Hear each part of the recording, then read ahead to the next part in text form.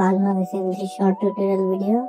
I'm gonna show you how to change your gender on Roblox PlayStation. Unfortunately, you cannot change your gender by any console. So for that, you have to use your PC or mobile. I'm gonna use my PC. It's a very simple button. Just open the Roblox and select on the option option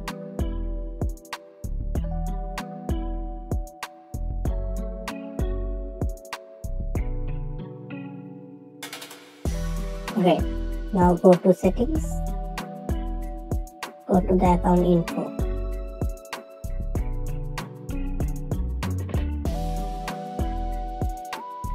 So you can see the gender option. Just simply select female or uh, male which one you wanna select it will be saved. So this was the video. I hope you guys like it. Thank you for watching the video